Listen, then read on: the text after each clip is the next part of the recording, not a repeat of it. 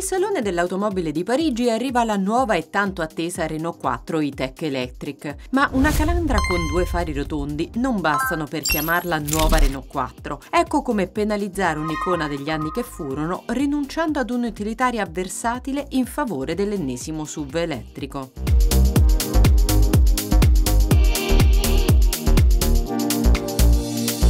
Scomodare certi miti sfruttandone il nome per riproporli in chiave moderna è da nonsense del design. Chiamatela con un altro nome perché con la vecchia e mitica Renault 4 non ha proprio nulla a che vedere. Se poi aggiungiamo che dovrebbe costare intorno ai 30.000 euro, viene da chiedersi quante ne venderanno.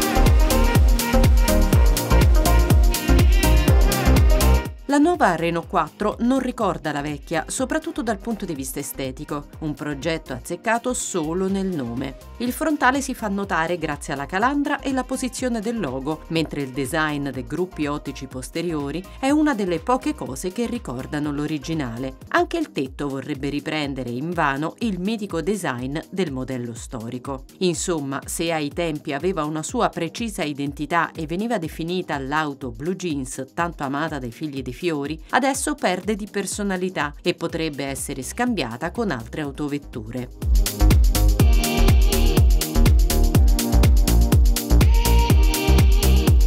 Lunga 4,14 m e pur compatta, si posiziona tra Clio e Captur. Il passo supera i 2,60 m per offrire più spazio a bordo. La larghezza resta contenuta in 1,80 m per circolare in città senza difficoltà.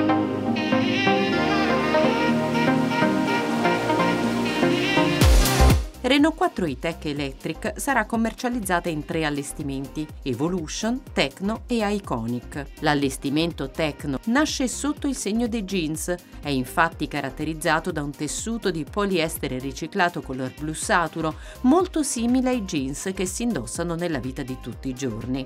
Nella versione Iconic, i sedili e i poggiatesta abbinano un tessuto con cuciture gialle con un tessuto in parte riciclato e di origine biologica.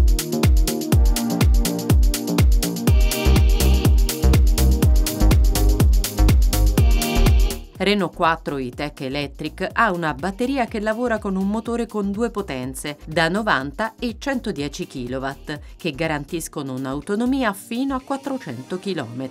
Derivato direttamente dal motore di Megane Tech Electric e Scenic Tech Electric, il motore da 110 kW di Renault 4 e-Tech Electric è lo stesso già disponibile per Renault 5 e-Tech Electric.